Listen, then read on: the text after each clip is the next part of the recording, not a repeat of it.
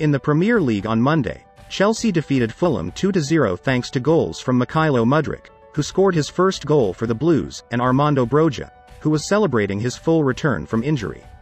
Prior to their visit to Craven Cottage, Mauricio Pochettino's incredibly expensive, new-look team had failed to score in each of their previous three league games and had only scored five goals in six matches in the top tier this season.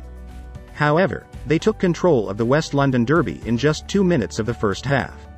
After winger Mudryk of Ukraine received a cross from Levi Colwill and headed the ball past goalkeeper Bernd Leno in the 18th minute, sloppy home defense allowed Broja to double the advantage a minute later.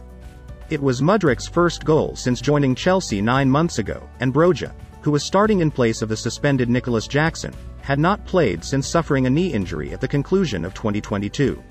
It's an incredible sensation. It's taken a while, Broja said of his objective to TalkSport. Our crew is coming together. It won't take place immediately. We need to have that time in order to keep improving as a team.